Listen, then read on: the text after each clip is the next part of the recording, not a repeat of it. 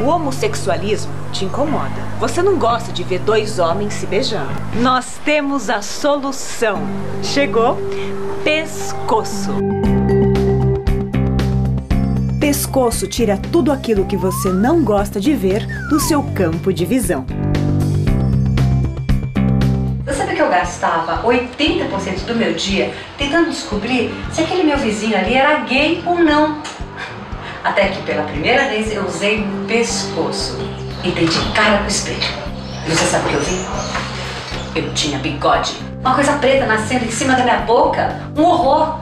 Agora, toda vez que eu tento descobrir se ele é gay ou não, quem é o ativo, quem é o passivo, se eles usam, se eles usam, pescoço.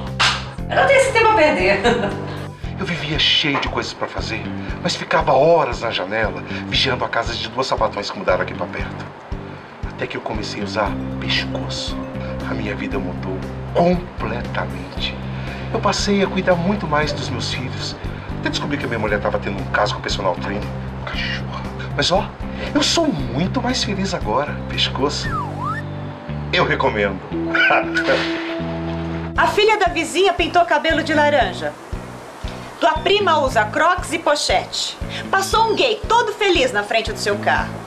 Não perca seu tempo olhando e falando da vida dos outros. Use pescoço e tenha sua vida de volta.